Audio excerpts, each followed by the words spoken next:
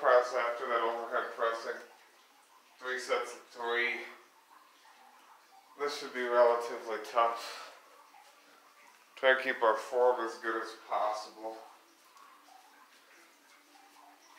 Floor presses are really helping you help you lock out and they make you control the negative so it's like a two for one special.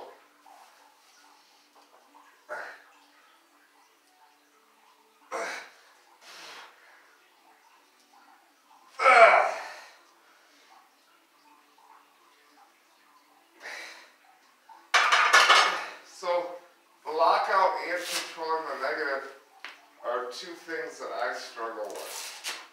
So that's why this has helped me lot.